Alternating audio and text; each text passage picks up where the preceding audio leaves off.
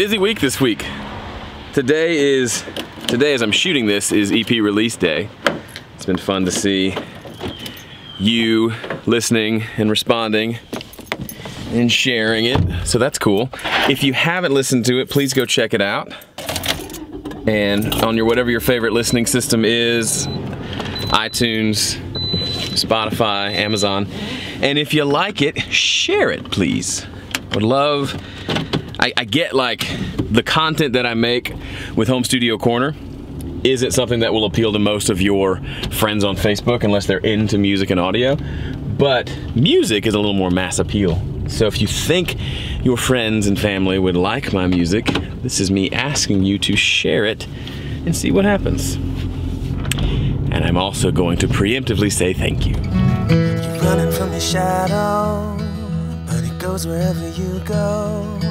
You're running out of time. It's the first of the month, which for me as a business owner means a lot of boring stuff. A lot of the month is over. Let's figure things out. And I've been running around all day and haven't brought my camera with me. Sorry, forgot about you. Super excited. I'm going to a show tonight. Should be awesome. I'm hoping I can bring you with me and they won't tell me to put the camera down. That'll be fun. I wanna share an email with you that I got this morning. So today, I mentioned this already, is EP release day. Technically, like the day I'm shooting this is the day the EP came out. And I've got a million things I need to do. My inbox is out of control. In the middle of all that chaos, I got this email from Bradley, uh, Bradley Gray. And I just I want to read it to you quickly. It's this is going to sound like me tooting my own horn, but I've had several people share something similar with me, and I thought it might be helpful for you, or at least thought provoke. thought. I just tried to say th and it made a th sound. Thought, thought, thought, thought provoking. Thought provoking.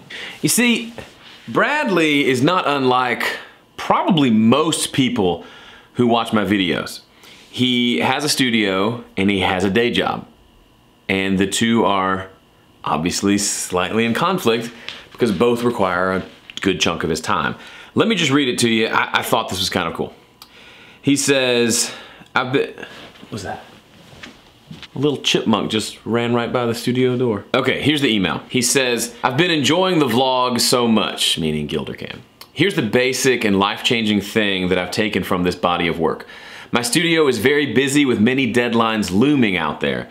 Because I'm a full-time worship leader at my church, I find myself putting off these projects because I only have 30 or 45 minutes before the next appointment and talked myself into believing that I needed a four hour block of time to make it worthwhile and give my best. But watching you with a busy life and expectations and watching you sit and work on something and set a personal deadline of 30 minutes has encouraged me to look at things differently. For the last 30 days, I have taken those opportunities and because of the progress made in these these gaps of time, I've not had an all-nighter in a month. No all-nighters. In addition, I don't feel overwhelmed because I'm just tackling one process of the mix, not the whole elephant. My focus and creativity are higher because I'm not depressed over how much work I'm looking at or how many interruptions come when I'm working. Thank you for the look into your life. It has been a great encouragement Bradley Gray from Chattanooga. Bradley, thank you. That encourages me that something in these Gildercam videos has been helpful and actually useful in the real world.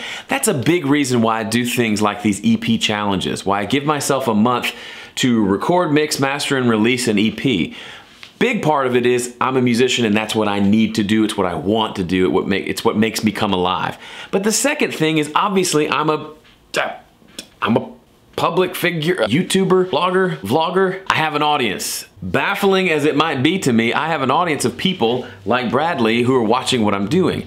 So in addition to making music because I need to, I make it because I want to show others that it can be done and that the stars don't have to align perfectly. You can do this in the real world, in the messy, disorganized, nothing goes according to plan real world.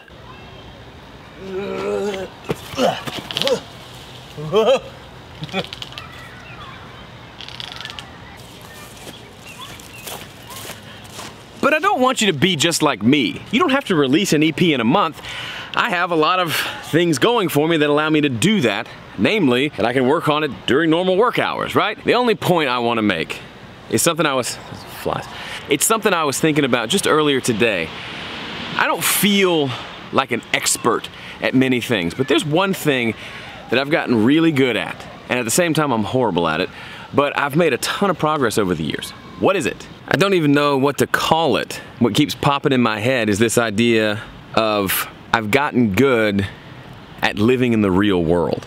There has not been a single episode of Gildercam that has gone according to plan. Zoom out a little bit, there's not been a single day in the last month that has gone exactly according to plan. Two possible takeaways from that. One, you can say plans are garbage, what's the point of a plan because things always blow up. Or two, two, or two, you can realize that making a plan is good and then adjusting to life as it happens, that's where the real progress and work happens. Some of the things Bradley was talking about, me setting a goal to do something in 30 minutes. It wasn't that I looked at my calendar that day and said, oh, I'm going to plot in 30 minutes here to record that vocal. Or that one one day where I had, I literally had five minutes and I recorded a vocal in those five. I don't plan that part out. It was, I intended to work on this song earlier. Things got a little screwy and now I've got a 30 minute gap before the next thing I have to go to. I can either watch funny YouTube videos or I can knock out a piece of this project. It's the same thing I've been harping on forever. You don't have to have huge uninterrupted blocks of time to make something good and something worthwhile. Yes, big blocks of time are super nice to have. Don't get me wrong, I'm a big fan of having a big chunk of time. I don't think you should always work in little 10 minute chunks. Sometimes it's nice to have a big chunk of time. But way too many people think like Bradley used to think that they have to have a big, huge chunk of time in order to accomplish anything. You don't have to look any further than this Gildercam series. If you go back through and watch episodes over the last month as I've been producing this EP, I've really only had two big chunks of time, which were the very first two days where I recorded scratch tracks. The rest had to be fit in here and there. Yeah, I planned to have some bigger chunks of time, but life happened and I would have to pick up things when I could and adjust and adjust and adjust and adjust. Is there room for improvement for me to be better at sticking to the schedule? Absolutely. And I'm a big, big fan of planning, but life is unpredictable. You never know what the day will hold. It's part of what makes it exciting. The key to all of it, all of it, is to have a goal. I would not have snuck in 30 minutes to work on that song or 10 minutes to sing that vocal had I not had a goal of finishing this EP in the given time frame, which was a month less than a month. Having a clearly defined finish line changed the way I approached what I was doing today. Knowing that tomorrow I want to be in this place changes what I do today. It creates a sense of urgency that makes it seem more appealing to get a little more work done on the project instead of just blowing off a half hour. Don't you know it's okay to be broken? Tonight, buddy of mine from college started a band, a duo. Like R&B duo called, wait, hang on, Rookie Season. And from what I've gathered, they've kind of blown up on Spotify. They hit a couple of big playlists and have started to gain some traction, which is super cool. They're releasing, or they've released a new album called Collide, and they're doing a CD release show at a shoe store, which sounds weird, but I think they're trying, and hopefully they'll, I'll get to talk to them and clear this up. But I think they're trying this new way of approaching music, of creating music, but also creating apparel. Not like like merch, like hey, buy a t-shirt, bro, but like shoes, and and partnering up with people that make actual like nice clothing and that being a part of the brand. I'm not entirely sure, but it sounds interesting and it should be really fun. Plus, my buddy Ben Gortmaker, you've seen him, I've interviewed him on the podcast a few years ago. He's playing guitar tonight with the band as well, so should just be all around good fun. Don't you know it's okay to be broken?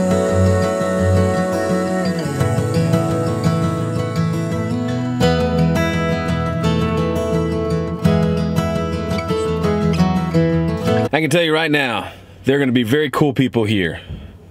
I'm not going to fit in.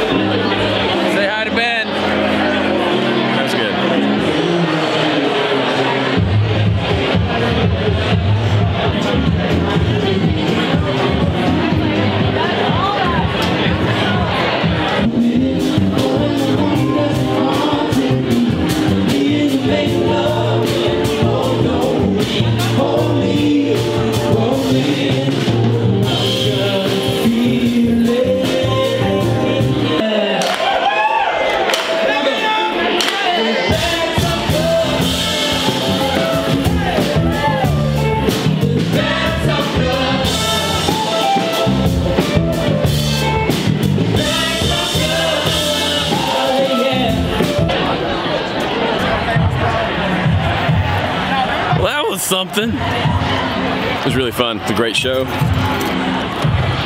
I'm about a decade and a half too old for that venue. But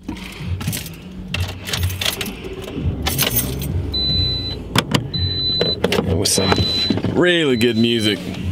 Got to see some old friends, make some new ones. Good evening.